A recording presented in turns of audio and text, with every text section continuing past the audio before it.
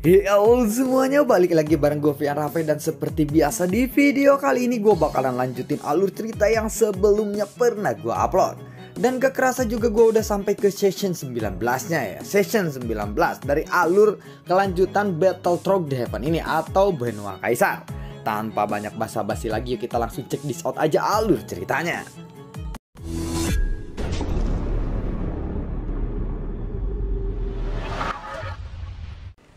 Di episode sebelumnya, setelah Labu Bau menelan jiwa Yuan Bai, lalu mata kesembilan dari Labu Bau pun langsung terbuka. Dan melihat itu, Xian pun lalu berkata, Aku tidak menyangka benda ini jauh lebih berguna dari yang aku bayangkan, ucap dari saya. Masih ada satu lagi yang harus diakhiri oleh Xiaoyan. Kemudian Xiaoyan pun lalu mengangkat kepalanya dan melihat ketiga Heart Flame yang masih berseteru. Meskipun Bayan dan juga Immortal Flame berhasil menekan Yaoyan bersama-sama, mereka tidak pernah bisa sepenuhnya menekan Yaoyan, apalagi Yaoyan sudah bertambah kuat lagi. Bayan, Immortal Flame, kembalilah dan berikan kekuatan kalian dan biarkan aku saja yang menekannya, ucap dari Xiaoyan saat melihat pertempuran para Heart Flame itu. Setelah Bayan dan juga Immortal Flame mendengar perintah dari Xiaoyan, mereka pun tanpa ragu-ragu segera mundur dan kembali ke tubuh Xiaoyan. Memangnya kamu sudah memiliki cara untuk menekanku? Tanya dari Yao Yan. Tentu saja. Apakah kamu tertarik menjadi hard flame ketiga di tubuhku ini? Jawab dari saya. Aku tidak tahu bagaimana Bayan dan juga Immortal Flame bisa menyerah kepadamu begitu saja. Padahal selama ini hanya satu orang saja yang bisa menangkap Hard Flame. Dan orang itu sudah lama mati. Ucap dari Yao Yan. Oh, memangnya siapakah dia? Tanya dari Sayan kepada Yaoyan. Kamu seharusnya sudah mengetahuinya. Aku juga pernah menjadi pembantunya saat itu. Dia adalah orang terkuat di dunia Senki, yaitu Junsa, ucap dari Yaoyan. Ya, kamu memang benar dan orang itu adalah aku, ucap dari Sayan kembali. Hei, dia adalah seorang supreme. Berani-beraninya kamu menyamakan dirimu dengannya, ucap dari Yaoyan. Mendengar itu Xiaoyan pun tidak ingin repot-repot untuk berbicara terus omong kosong dengan Yaoyan. Kemudian Xiaoyan pun melangkah maju. Lalu Bayan dan juga Immortal Flame pun menyemburkan api. Api hitam Immortal Flame menempel di separuh tubuh Xiaoyan dan api putih Bayan pun menempel di setengah tubuh Xiaoyan yang lainnya. Melihat adegan ini, Yaoyan pun kembali terkejut. Adegan seperti ini seharusnya aku pernah melihatnya, ucap dari Yaoyan. Ketika Yaoyan masih berusaha mengingatnya, tinju Xiaoyan pun sudah terangkat. Buar, lalu tinju Xiaoyan pun mengenai Yaoyan dan Immortal Flame dan juga Bayan pun langsung menekan Yaoyan kembali. Tetapi Xiaoyan langsung merasakan ada sesuatu aura yang aneh di diri Yaoyan ini. Lalu Xiaoyan pun perlahan bisa merasakan aura seperti itu. Aura ini sepertinya Xiaoyan pernah merasakannya saat Xiaoyan berada di tanah hukuman para dewa. Ini adalah aura dari dunia lain dan bukan aura dari dunia Senki. Xiaoyan memang tidak yakin, tetapi aura ini pasti akan menjadi petunjuk baginya. Namun, Xiaoyan harus terlebih dahulu berhasil dalam menaklukkan Yaoyan. Pada saat ini, Yaoyan tampak marah setelah diserang oleh Xiaoyan. Karena kamu ingin bertarung, Aku akan mengalahkanmu dengan cara manusia bertarung, ucap dari Yaoyan. Yaobi teriak dari Xiaoyan. Xiaoyan tidak memberikan kesempatan untuk Yaoyan. Seluruh ruangan ini pun lalu ditutupi oleh Bayan lagi. Xiaoyan tidak tahu apakah ini akan berguna atau tidak, tetapi Xiaoyan harus mencobanya. Namun, pada saat berikutnya, kepalan tinju yang bercampur dengan api muncul tepat di depan wajah Xiaoyan. Buar! Tinju ini mengenai wajah Xiaoyan tanpa penghalang sama sekali. Xiaoyan pun terpental ke belakang dan ada rasa sakit yang membakar di wajahnya. Tetapi luka itu pun langsung segera pulih seketika. Karena Yao Ping tidak berguna kepada Yaoyan, Xiaoyan pun lalu menggunakan tinjunya untuk menghadapi Yaoyan. Sosok Xiaoyan pun langsung melesat dan muncul di depan Yaoyan. Tinju Xiaoyan yang ditutupi oleh Bayan dan juga Immortal Flame pun langsung meledak ke arah Yaoyan. Hus, dadedok, dadedok, dadedok, buar. Suara ledakan pun memenuhi seluruh ruangan ini. Yaoyan pun lalu terpental ke belakang. Namun saat ini, Yaoyan sudah dipenuhi dengan aura energi hitam yang begitu menekan Xiaoyan. Xiaoyan bisa merasakan bahwa energi hitam ini dipenuhi dengan niat membunuh yang sangat kuat. Apakah energi hitam ini sangatlah menakutkan atau tidak? Dia tidak tahu. Dia pernah merasakannya saja di tanah hukuman para dewa. Namun dia juga tidak tahu dari mana energi hitam ini berasal. Lalu bayangan energi hitam itu pun berubah menjadi bayangan manusia.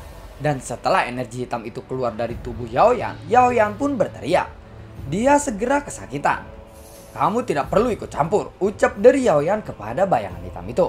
Dan setelah mendengar teriakan Yaoyan itu, energi hitam itu pun lalu menoleh kepada Yaoyan. Dan dia lalu mengangkat lengannya dan memukul Yaoyan. Buar, Yaoyan pun terpental ke belakang dan jatuh dengan sangat keras di tanah. Lalu energi hitam itu pun menatap ke arah Xiaoyan. Tuan, ada sesuatu yang salah dengan energi hitam itu. Aku rasa saat ini kita masih belum bisa untuk melawannya. Kekuatannya terlalu kuat, ucap dari Immortal Flame kepada Xiaoyan. Tetapi kita juga tidak mungkin untuk melarikan diri darinya bukan? Jawab dari Xiaoyan. Energi hitam itu pun perlahan lalu mengangkat lengannya ke arah Xiaoyan. Dan sebuah udara berwarna hitam pun langsung menyembur keluar dari telapak tangannya dan segera menyelimuti tubuh Xiaoyan. Xiaoyan langsung melesat ke arah belakang. Tetapi saat Xiaoyan hendak bergerak, dia menyadari bahwa tubuhnya sebenarnya tidak bisa bergerak. Sementara itu, Bayan dan juga Immortal Flame pun keluar dari tubuh Xiaoyan dalam sekejap. Kedua Heart Flame ini berinisiatif untuk menyerang tanpa ragu-ragu dan menunggu perintah dari Xiaoyan sebelumnya. Iya, duduk, duduk, duduk, duduk. Buar, baik Bayan ataupun Immortal Flame, mereka berubah menjadi dinding lautan hitam dan melindungi tubuh Xiaoyan dari angin hitam yang dikeluarkan oleh bayangan hitam itu. Dalam waktu kurang dari 5 detik saja, energi hitam itu langsung menyelimuti keduanya dalam sekejap dan bahkan menembus dinding lautan api yang dibuat oleh Bayan dan juga Immortal Flame. Kemudian, energi hitam itu pun bergegas menuju Xiaoyan yang tidak bisa bergerak di belakang dinding api yang diciptakan oleh Bayan dan juga Immortal Flame. Guru Zanlao, jika kamu tidak bertindak sekarang, mungkin aku akan mati, ucap dari Xiaoyan di dalam hatinya. Namun, meskipun Xiaoyan telah memanggil Guru Zanlao, tetap saja tidak ada pergerakan atau jawaban dari menara Jinsen Suling. Dan mungkinkah bahwa menara Zin Sen Suling pun tidak akan bisa menekan energi dari aura hitam ini? Pada momen krisis hidup dan mati Xiaoyan, tiba-tiba muncul kilatan api di depan Xiaoyan. Dan kilatan api itu menyerang energi hitam itu tanpa ragu-ragu.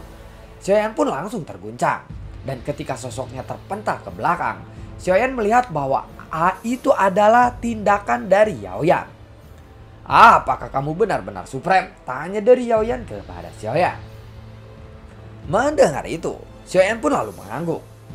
Tetapi, bagaimana mungkin supreme begitu lemah sepertimu? Bukankah seharusnya kamu bisa mengalahkan dia dengan mudah jika kamu benar-benar seorang supreme? Tanya dari Yaoyan. Mendengar itu Xiaoyan pun hanya bisa tersenyum getir saja. Dulu memang iya, tetapi sekarang aku masih belum begitu kuat, ucap dari saya. Namun kemudian, Xiaoyan teringat akan sesuatu hal. Dan dia pun segera memandang ke arah Yaoyan. Yaoyan, bisakah kamu masuk ke tubuhku dulu? Ucap dari saya. Apakah kamu akan menjadi kuat jika aku masuk ke dalam tubuhmu seperti Supreme dahulu kala? Tanya dari Yaoyan. Itu bisa saja terjadi, ucap dari saya. Sepertinya kamu juga sangat membutuhkan kekuatanku, ucap dari Yaoya. Sudahlah, berhentilah beromong kosong. Cepat lakukan saja, ucap dari saya. Dan benar saja, sifatmu memang benar-benar mirip dengan Supreme yang suka menyuruh orang seenaknya, ucap dari Yaoyang sambil tertawa. Spring! Lalu setelah itu, tubuh Yaoyan pun terbelah menjadi sembilan bagian api ungu dan langsung bergegas menuju tubuh Xiaoyang. Pada saat ini, semua 10 bagian Yaoyan pun telah terkumpul di tubuh Xiaoyan. Saat melihat bahwa 10 bagian Yaoyan telah ditundukkan oleh Xiaoyan, energi hitam itu pun tampak lebih marah lagi. Dan kekuatan sejati dari energi hitam itu pun langsung meledak dalam sekejap. Detik-detik berikutnya, sosok Xiaoyan juga tidak bisa bergerak sedikit pun. Tetapi pada saat yang sama, aura kekuatan Xiaoyan pun lalu meroket dengan sangat cepat. Saat ini kekuatan Xiaoyan telah mencapai puncak fighting god bintang 6. Kecepatan peningkatan kekuatan semacam ini tentu saja sangat menakutkan. Kekuatan Xiaoyan sedikit lagi hampir mencapai fighting god bintang 7. Xiaoyan merasa seolah-olah ada kekuatan yang tidak terbatas di tubuhnya saat ini. Sekarang tubuh Xiaoyan mendapatkan kembali kebebasannya. Tetapi Xiaoyan tidak memiliki niat untuk melarikan diri. Karena Xiaoyan sangat ingin tahu tentang energi hitam ini. Xiaoyan benar-benar ingin tahu dari mana asal dari energi hitam itu. Jika energi hitam itu dari dunia luar, maka itu akan menjadi satu petunjuk yang sangat penting bagi Xiaoyan. Setelah itu, Yaoyan pun lalu berkata, Meskipun dengan kekuatan peningkatanmu saat ini, kamu masihlah bukan lawannya, ucap dari Yaoya. Tidak apa-apa, aku tidak akan menyerah. Jawab dari Xiaoya. Skill Bayan Li, teriak dari Xiaoya. Pedang Bang Huang Quan Zong lalu ditebaskan ke arah depan. Dan angin yang sangat kencang disertai lautan api dan petir mengalir mengerikan ke arah depan. Langsung melesat menuju ke arah energi hitam itu. Energi hitam itu pun lalu mengangkat lengannya dan lengannya langsung berubah menjadi kampak raksasa hitam dan berayun ke arah atas menuju Xiaoyan. Ting buah, kedua serangan itu pun bertabrakan dan ledakannya pun begitu dahsyat. Lalu ada energi ganas yang tetap menyebar dengan sangat cepat. Kemudian Xiaoyan pun lalu membuka mulutnya. Poin satu, ucap dari Xiaoyan. Xiaoyan tidak menyia-nyiakan kesempatan ini. Dia langsung mengeluarkan point shatternya dan point shatter pun melesat ke arah energi hitam itu. Point shatter melesat dengan sangat cepat dan kekuatannya pun sangatlah dahsyat. Pada saat point shatter sudah mendekati energi hitam itu, energi hitam itu pun lalu mengangkat lengan kanannya dan dia pun menangkap point shatter hanya dengan tangan kosong saja. Tring, buah, suara ledakan pun bergema lagi. Dan pada saat berikutnya, Point Sutter benar-benar ditangkap oleh energi hitam itu hanya dengan satu lengannya saja. Tetapi Point Sutter sepertinya tidak mau berhenti berputar. Seolah-olah Point Sutter ingin berjuang keras untuk lepas dari cengkraman tangan energi hitam itu. Namun cengkraman dari energi hitam itu pun menjadi semakin kuat. Dan kemudian terdengar suara retakan. Tring, pring, buar. Point Sutter pun benar-benar telah diledakan dan dihancurkan. Lagi-lagi saat ini Xiaoyan kehilangan senjata pamungkasnya. Xiaoyan tidak menyangka bahwa Point Shutter bisa langsung dihancurkan oleh energi hitam itu. Dan bahkan hanya dengan satu lengannya saja. Pada saat yang sama, energi hitam itu pun lalu melambaikan lengannya yang berupa kampak dan ditebaskan ke arah Xiaoyan lagi.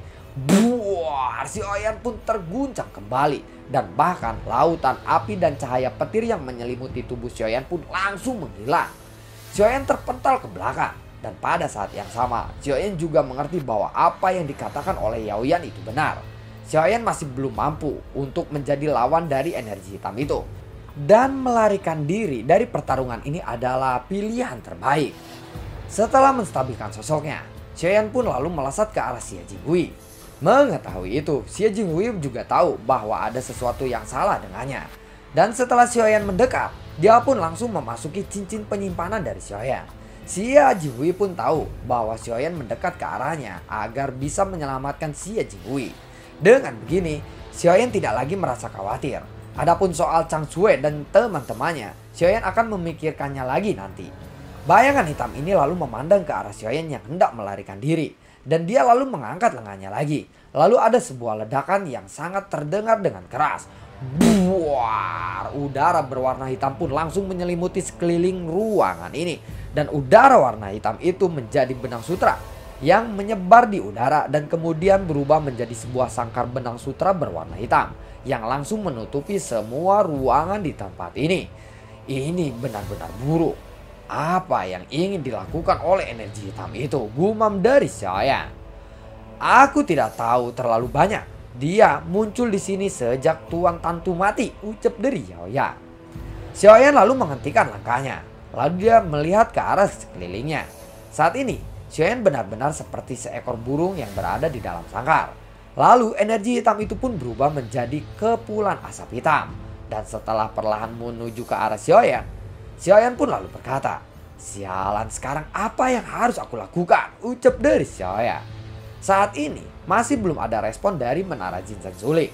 Xiaoyan tidak tahu apakah menara Jinsen Suling sengaja melakukan ini atau tidak.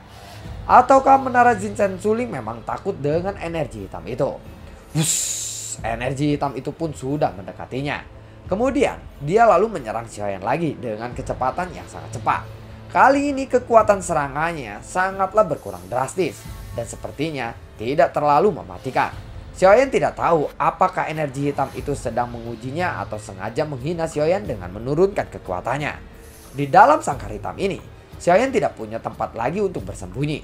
Sebenarnya, Xiaoyan ingin mencoba untuk menggunakan labu bau bermata sembilan, tetapi dia baru saja kehilangan poin saternya. Xiaoyan khawatir akan kehilangan senjatanya lagi. Buah, buah, dededok, dededok, dededok. Xiaoyan pun lalu menghindari serangan-serangan dari energi hitam itu dengan sangat panik. Tetapi perlawanan Xiaoyan ini seperti tidak ada artinya baginya. Xiaoyan terus terpental ke belakang. Siapa kamu sebenarnya? Ucap dari Xiaoyan sambil menyeka darah di sudut mulutnya. Tetapi energi hitam itu tetap tidak menjawab pertanyaan dari Xiaoyan. Ketika energi hitam itu mengangkat lengannya, aura hitam yang ada di sekitarnya berubah menjadi puluhan tombak.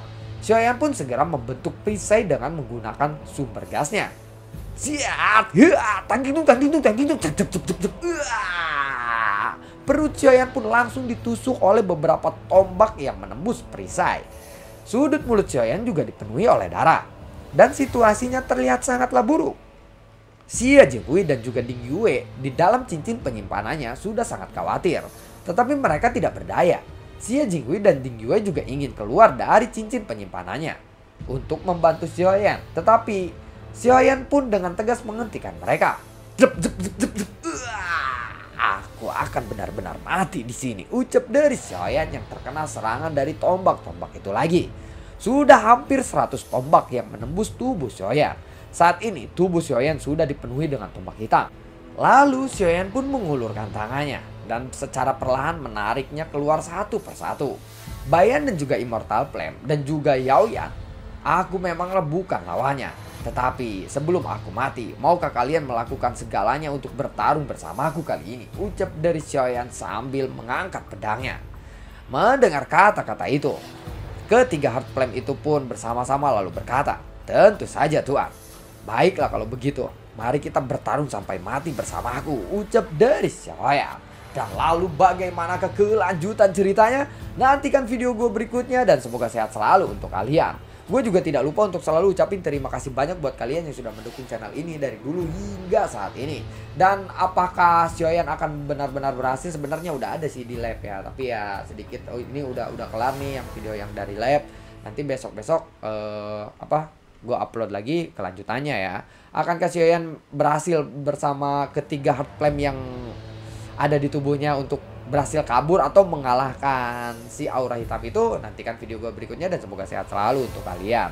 Gue juga tidak lupa untuk selalu ucapin terima kasih banyak buat kalian yang sudah apa ya udah gue udah ngomong belum sih? Gue banyak pikiran banget sekarang anjir jadi aduh pusing banget.